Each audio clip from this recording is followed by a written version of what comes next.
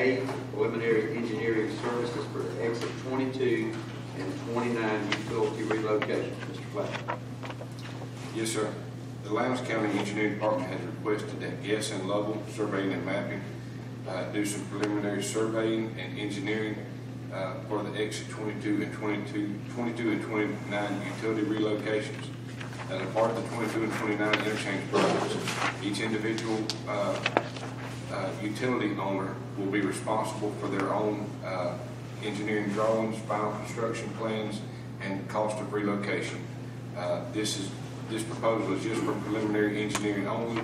The final engineering, uh, we will not get a final engineering number until we figure out exactly what all utilities will have to be relocated. There's a possibility that some of the manholes may be able to be raised to the new grade, thus not having to relocate some of the sewer.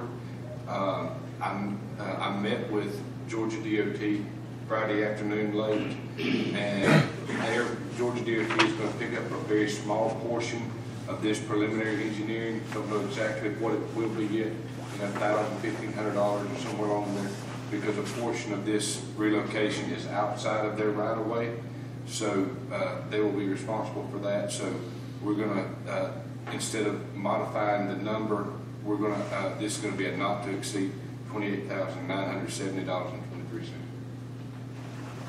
Any questions for Mr. Flash? Hearing none, we'll move on to six B.